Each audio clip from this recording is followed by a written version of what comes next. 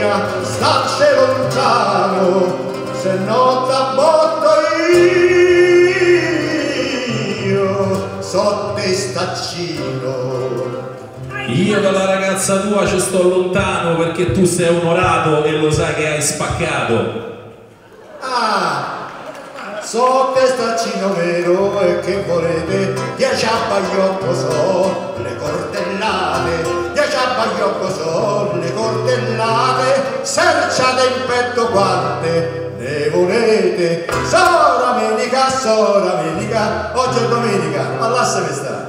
E te lascio sta perché sei testaccino ma io vengo dalla Magliana e stasera qui l'auditorium è la mia tana sul parco ci stanno i migliori romani la gente gli piace e ci applaude con le mani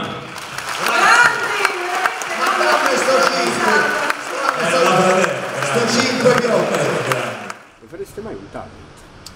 Mm, ma, eh, ma magari me ci chiamano nel senso cioè a partecipare come, come cantante al talent magari perché significa che non siamo così vecchietti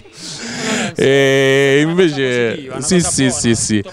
ma sì sì io, io ripeto secondo me poi è la gente a, a prescindere che decide poi quello che esce anche dal talent. Sono usciti dei grandi artisti tipo Mengoni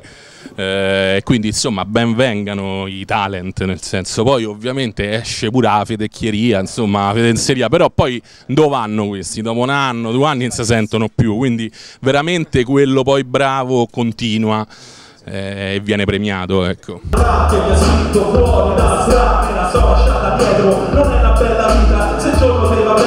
giorno mi sfiga stica mica posso stare sempre a rischiare tra spaccio furti e microcriminalità ricordo quando eravamo pischelli storie di scasso date dei coltelli tante troppe le giornate magre ma ho mantenuto sempre tanto l'occhio da piccole poi iniziato a rappare Ora, a un giovane eh, consiglierei tutte e due, nel senso che ora il talent ti dà una visibilità incredibile che non ti danno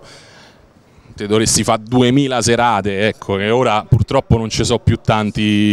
so più tanti locali neanche come una volta che invece facevano suonare live, ecco. Eh, però ecco, il giovane secondo me deve fare un po' tutte e due, deve provarci al talent perché poi se è bravo verrà premiato e continuare a fare la sua gavetta nei locali, nelle jam, nelle battle di freestyle, insomma è giusto che sia entrambe le cose.